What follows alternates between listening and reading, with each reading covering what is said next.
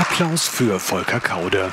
Er wird von den neu gewählten Abgeordneten der CDU-CSU-Bundestagsfraktion in seinem Amt als Fraktionsvorsitzender bestätigt.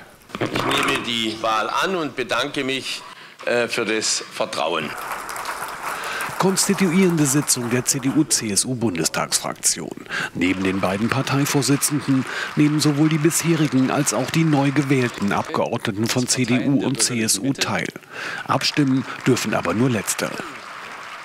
Zunächst werden die Abgeordneten der 19. Wahlperiode einzeln aufgerufen und erklären damit, dass sie der Fraktion als Mitglied angehören wollen. Max Straubinger, damit ist die Bundestagsfraktion konstituiert.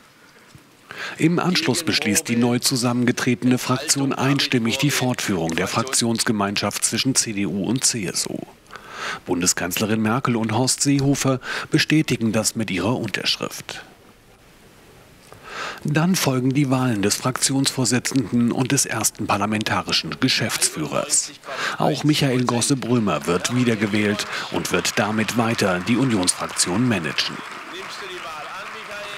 Weitere Personalie, der bisherige Bundesverkehrsminister Alexander Dobrindt ist von den Abgeordneten der CSU zum neuen CSU-Landesgruppenchef gewählt worden und folgt damit auf die nicht mehr zur Bundestagswahl angetretene Gerda Hasselfeld.